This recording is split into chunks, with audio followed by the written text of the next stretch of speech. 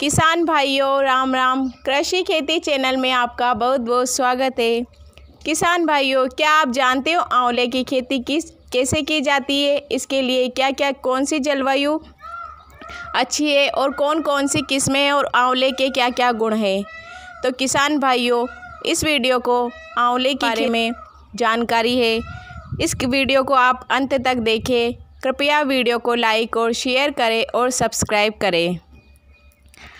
किसान भाइयों, आंवला को आमतौर पर भारतीय गुजबेरी और नेली के नाम से भी जाना जाता है।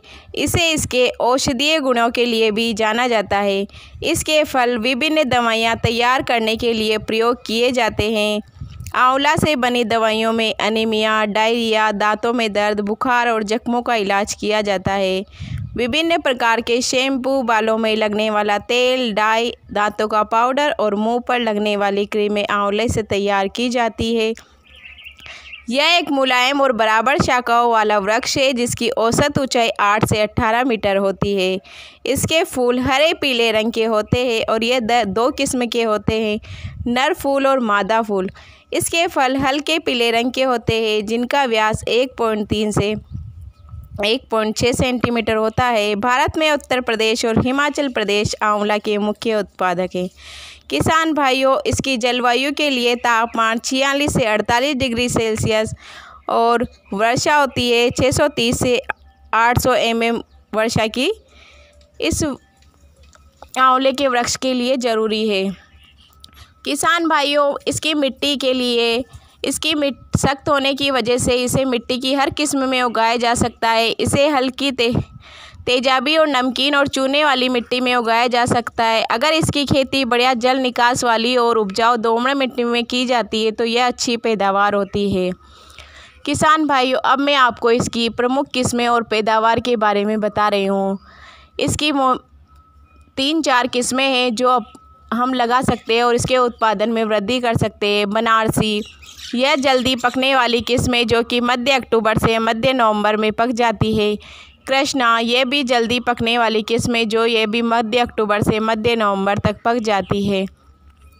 एन ए नाइन यह भी एक जल्दी पकने वाली किस्म है यह मध्य अक्टूबर से मध्य नवंबर में पक जाती है। N A ten Francis N A seven Kanchan N A six आदि ये प्रमुख किस्में हैं। ज़मीन की तैयारी।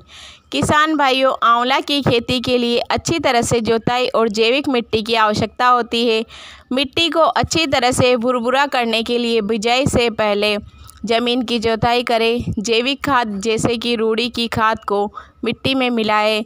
फिर पंद्रह से पंद्रह इंटू पंद्रह सेंटीमीटर आकार के टू पॉइंट फाइव सेंटीमीटर गहरे नर्सरी बेड तैयार करें।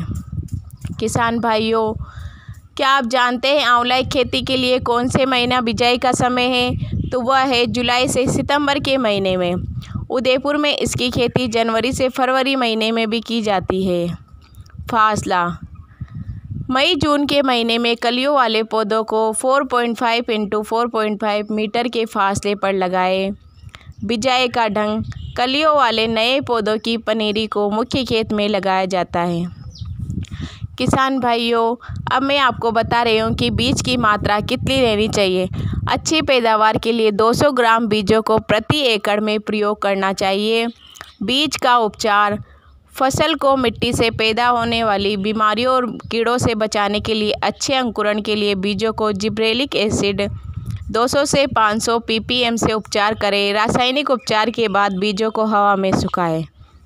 इसके लिए खाद, नाइट्रोजन, फास्फोरस, पोटाश।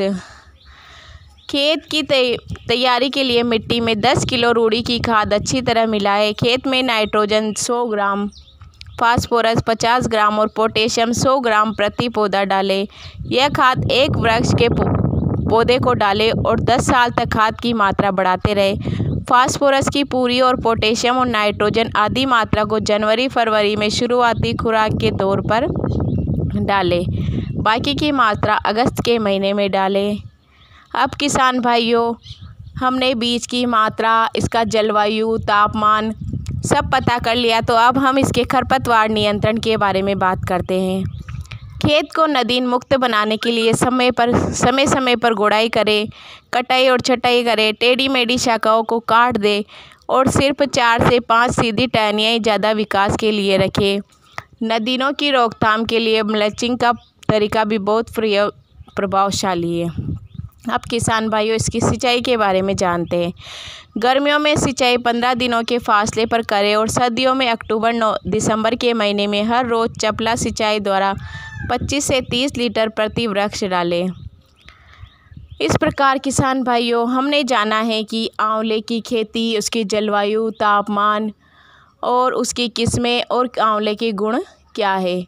अब मैं, किसान भाइयों, अगले वीडियो में आपको बताऊँगी कि आयु, आंवला की आयुर्वेदिक क्या क्या गुण है। धन्यवाद, किसान भाइयों। कृपया वीडियो को लाइक एंड शेयर करें और सब्सक्राइब करें।